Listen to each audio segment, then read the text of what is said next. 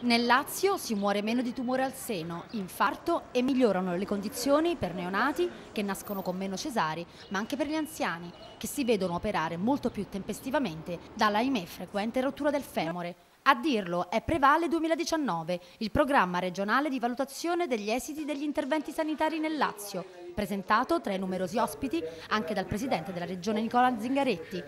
e dall'assessore alla sanità Alessio D'Amato, che in generale sottolinea come la Regione abbia speso meno e meglio i suoi fondi destinati alla sanità e come abbia diminuito di molto il divario di accesso alle cure in base al grado di istruzione,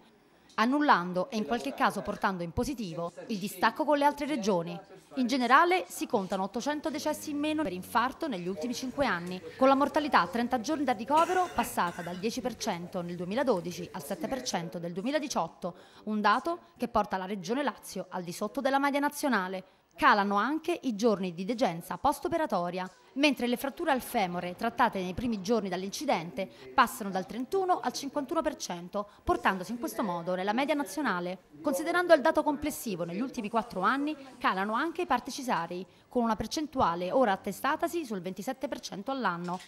ancora però maggiore del resto del paese. In generale è un sistema di cure che va eh, progressivamente migliorando anche per lo sforzo fatto da tutti i nostri eh, professionisti eh, in un momento anche di eh, difficoltà per quanto riguarda gli organici soprattutto per eh, gli, le specializzazioni. Rimangono elementi di criticità per quanto riguarda ancora un'incidenza dei parti cesari superiore alla media nazionale dovremmo su questo intervenire. Un dato importante infine viene dalle breast unit, introdotte dal Ministero della Salute e recepite per prime proprio dal Lazio, dove il volume degli interventi al seno deve essere superiore ai 150 l'anno, che nel 2018 hanno fatto fronte al 73% degli interventi complessivi.